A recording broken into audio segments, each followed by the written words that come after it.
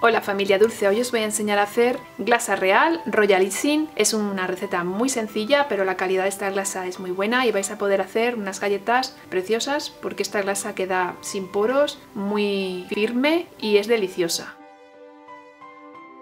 Los ingredientes que voy a utilizar son los siguientes, son muy pocos como veis, pero algunos de vosotros me habéis dicho que no encontráis o no entendéis los términos que utilizo porque esta receta está escrita en el blog desde hace mucho tiempo yo tampoco sé cómo lo llamáis en otros países, puedo describiroslo y tal vez así pues, entre todos podamos saber cuál es el nombre que utilizáis en otros países. En España, estos son los términos que nosotros utilizamos. Esto es azúcar glass, azúcar extra fino, azúcar polvo. Voy a utilizar medio kilo. Este polvo, que es muy fino, se llama albúmina. La albúmina no es otra cosa que claras de huevo deshidratadas. La albúmina podemos sustituirla por polvo de merengue.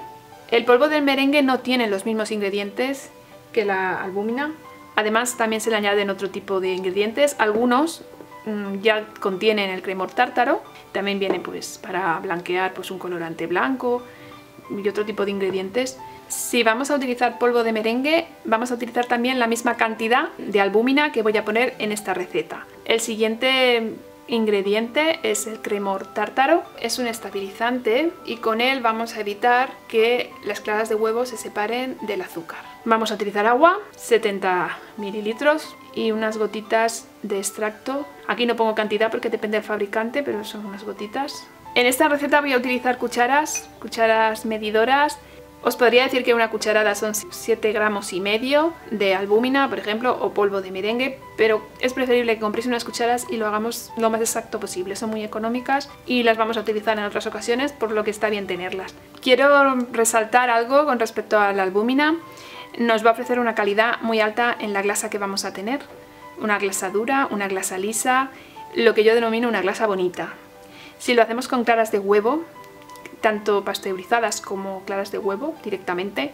La calidad de la glasa no es buena, las galletas quedan porosas, los colores no son tan bonitos y no solamente eso, si utilizamos una clara de huevo además estamos manipulando el huevo crudo y no os lo recomiendo para nada. Es mucho más seguro utilizar la albúmina y el polvo de merengue. En definitiva, si queréis conseguir unas bonitas y preciosas galletas, debéis usar como ingrediente la albúmina o el polvo de merengue.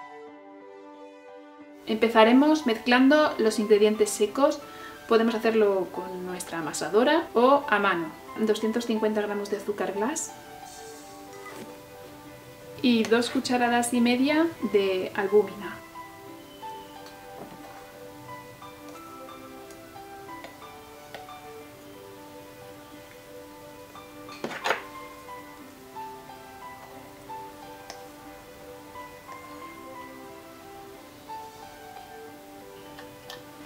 Y el cremor tártaro que es tan solo un cuarto de cucharita de té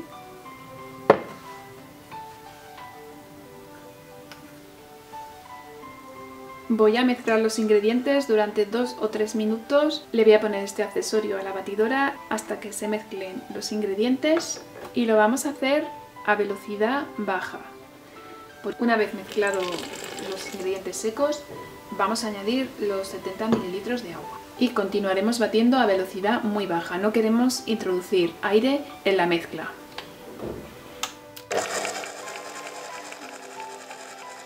Voy a añadirle unas gotitas de aroma, bueno, de extracto, y continúo batiendo. Nada, un minuto para que se mezcle. Voy a introducir el resto del azúcar y volveremos a batir pues hasta que estén integrados todos los ingredientes.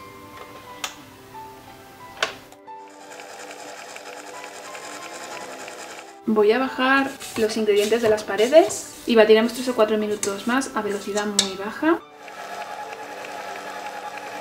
Esto es lo que denominamos glasa madre. Esta glasa madre es muy espesa, como podéis ver. De esta glasa es la que vamos a rebajar con agua para hacer las decoraciones, flores. La glasa madre la pasaremos a un recipiente hermético, podemos conservar la glasa madre en la nevera, heladera, frigorífico 15 días. Cuando queramos utilizarla para nuestras decoraciones, tomaremos una porción y le añadiremos agua pues con un biberón, poco a poco, unas gotitas, iremos mezclando hasta conseguir la fluidez necesaria. Para saber la fluidez exacta que vais a necesitar para cada cosa es cuestión de ir probando y de experiencia. A medida que vayáis haciendo más galletas os daréis cuenta cuál es la fluidez perfecta.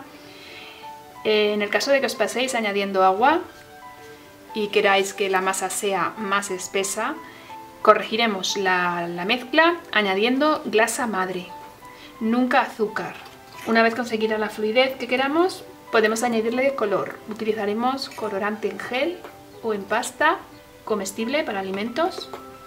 Mojaremos un palillo para conseguir el tono que deseemos. Tened en cuenta que una vez la glasa seca, el color aumenta un poco de intensidad. Y aquí estaría nuestra glasa acabada y finalizada. Esta, por ejemplo, nos serviría para cubrir galletas. Necesitaremos que fuera mucho más espesa para poder hacer flores o volantes o decoraciones que queramos que destaquen o que sobresalgan en las galletas. En el canal tengo vídeos donde hago decoraciones con galletas, allí podréis mejor ver la fluidez y podemos hacerla un poco más fluida. Esto tendríamos que probarlo con la manga pastelera para ver hasta qué punto necesitamos que esté más o menos líquida. Y una vez obtenida el espesor perfecto, empezar a decorar. Podéis hacer pruebas en galletas María, tipo María, de las que compramos en las tiendas, y de esta forma no estropear las galletas que hemos horneado y que hemos hecho en casa. Esto ha sido todo, espero que os haya gustado el vídeo, que le deis a me gusta, que os suscribáis al canal si aún no lo habéis hecho y gracias por estar ahí y hasta el siguiente vídeo.